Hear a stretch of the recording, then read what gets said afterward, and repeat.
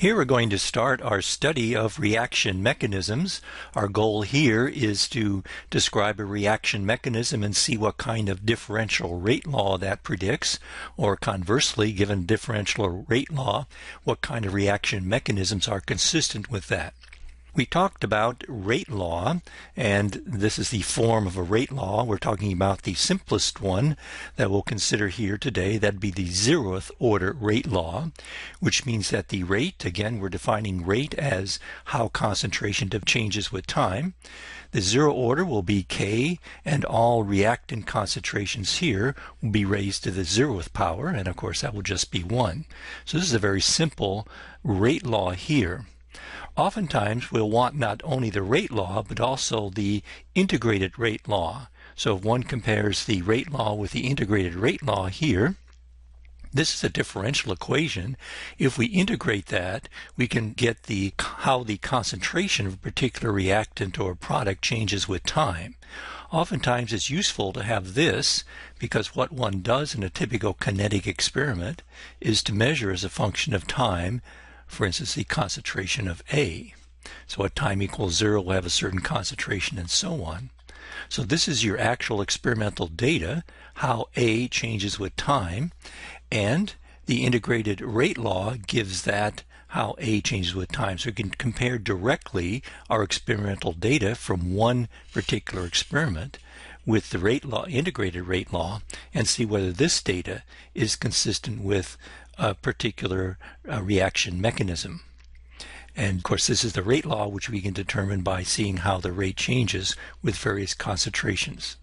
All right, so that's where we're going. We're going to look at various reaction mechanisms and see what kind of differential rate law that gives in form of a differential equation. We're going to integrate that and see what kind of integrated rate law that gives. All right, so starting with a zeroth order reaction, we have how a rate just depends on, well, no concentrations. It's just a constant. Recall that K is the rate constant, and the rate constant, as the name implies, is a constant at a particular temperature. doesn't depend on concentration. So let's uh, take that equation and see what that predicts here. So the zeroth order rate law, dA dt, the rate, is just a constant and all these concentrations here are raised to the zero power so we just have a constant rate so there's the rate law, the differential form. Let's integrate this. So we'll put all the things that uh, vary on one side. So this will be integral of dA. That would just be the integral of k times dt. Get rid of that and put a dt there. There we go. Now we have a couple choices. One, we can, to integrate this equation, we can make a definite integral, or we can do an indefinite integral. All right, so for a definite integral, we have to specify some initial conditions. So let's say at time equals zero, a is equal to a0. Then we could put limits on these integrant these integral signs here and determine the definite integral. So let's do that. The integral We'll go from a0 to a. a here will be just a function of time, dA. And that'll be equal to, well, a0, time is 0. And at some particular time t, the concentration here is a. This is k dt. Um, sorry, yeah, k dt. So this will be a minus a0. That will just be equal to k times time. So there's our the integrated form of the rate law, which we have down here. Let's go the indefinite integral way. So here we have an integral, and we're doing this in a lot of detail here. I mean, if you have a good background in calculus, you're probably, oh, why is he doing this step by step? But it'll be useful later on, and when we talk about more complex reaction mechanisms. Let's do the indefinite integral, dA. That will be the integration here of k dt. And so this will be a we integrate this, we get A. We integrate this, we get KT. And then we because we have an indefinite integral, we have the integration constant B. Now to determine what the integration constant B is, well, we use some initial conditions or some, we have to know what A is at some particular time. Hey, just let's use that. So at time equals zero, A is equal to A0. So we put that time equals 0, a is equal to a0, a0 is equal to 0 plus b, or the integration constant b is just then a0. You put that in here, and so you have a is kt plus a0, and that is the same thing we have here. So essentially we can either apply our, in this case, initial conditions before we do the integration, or you can wait afterwards and apply the initial conditions in order to get the integration constant. So there it is. So that's the integrated rate law determined in a couple different ways. Now let's uh, look a little more closely than that. Than that. We did all these mathematics and found, oh yeah, that's. But we are chemists. There's a reason why we became chemists rather than mathematicians, and that is we have one foot grounded in reality. And so let's look a little more carefully about what these what this integrated form means.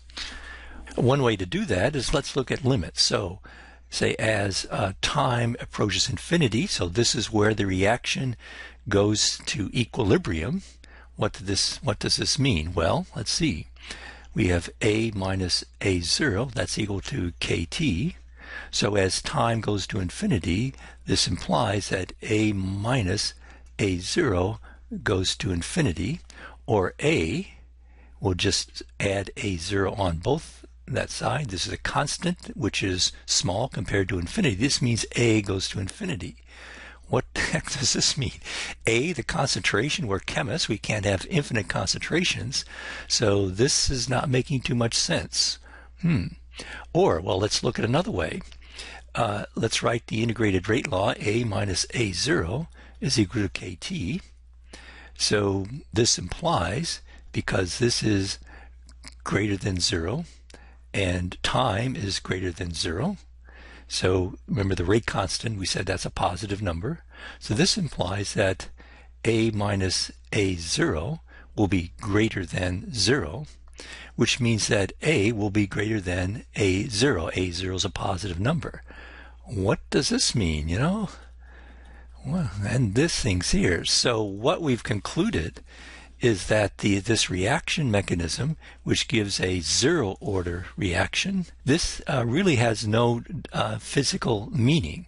What this means is that A is being is changing with time at a constant rate. And as chemists, we would think that the concentration of A, the amount of A in a chemical reaction would eventually go away because you've reacted it all over some product. It would eventually reach a maximum because you used up all the reactant. But here it's implying that like A is infinity or it just doesn't make sense. So it looks like a zero order reaction mechanism is approximation and perhaps at some particular time you might have a reaction that has a the rate um, of product appearance or reactant disappearance will be a constant, but it doesn't hold for the entire time domain.